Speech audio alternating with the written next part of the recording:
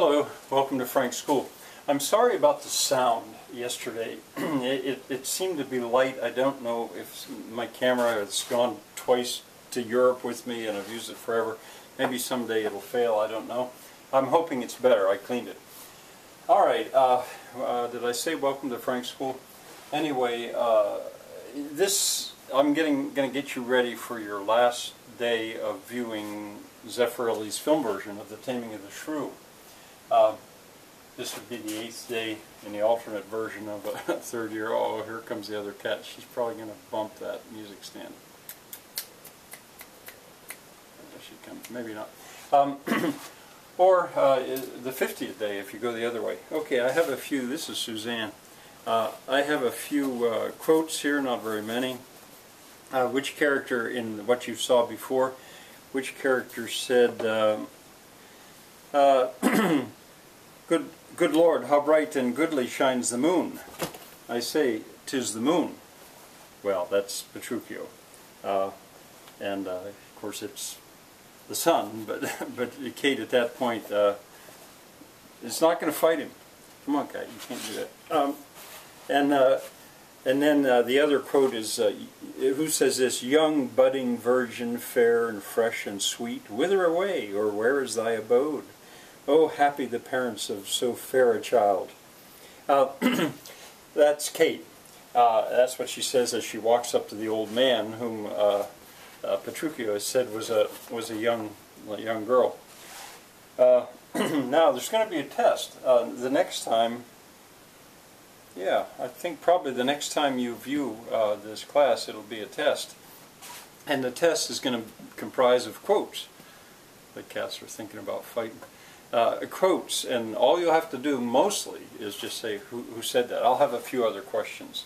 Um, Netflix, you, you, can you can see this on Netflix. I mean, I know that takes a day or two to get here.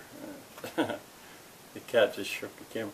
Uh, it takes a day or two to get to you, uh, or and I keep saying buy it. Uh, start a collection.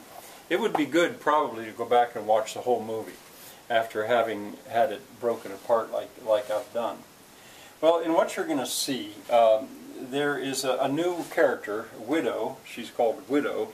Hortensio gives up. He knows he's not going to get uh, uh, Bianca, and so he settles for a rich old widow. Hortensio is the guy with the long blonde hair.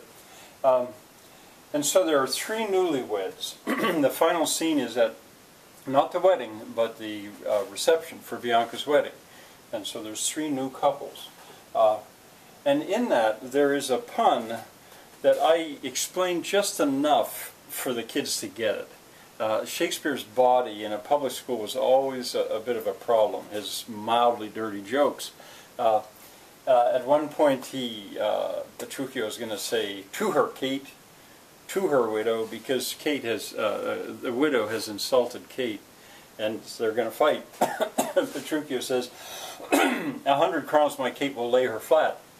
He's ready to bet a hundred crowns that Kate can, can win. Well, on that lay her flat, that's where the pun is. And, uh, uh, and uh, Hortensio says, that's my office. well, office nowadays is a place where you work. But uh, originally, it also meant the job you have to do. That's your job. That's your office. And so that's his job and then everybody laughs. Well, so that uh, so that the students might be in on that, I explain it gently. That that, that here, you know, I said, let you, you can just imagine, and then of course the kids laughed as well. Well, you're going to hear Kate's uh, concession speech, and it's an amazing speech. Um, I watched it last night, and, and I, I don't feel as fondly at the moment toward this movie as, as I have, you have to just about suspend reality. Um,